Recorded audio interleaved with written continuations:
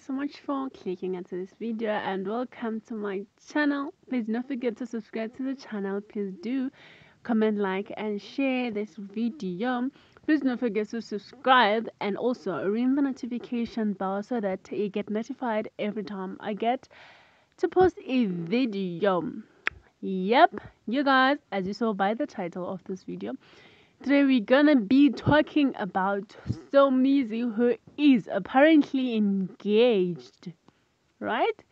The guy apparently you guys found love and we are saying this because he posted clips of himself and a mystery guy rocking blinging rings on Twitter.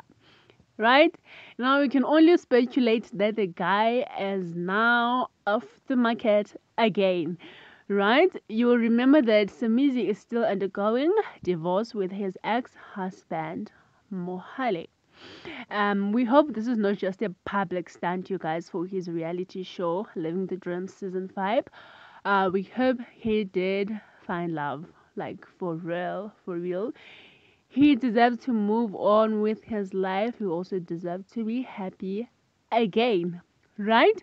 We're happy to see that Somizi has found love again, and this time, hopefully, he's with someone who is genuine, right? That's it from me. Thank you so much for clicking onto this video. Bye.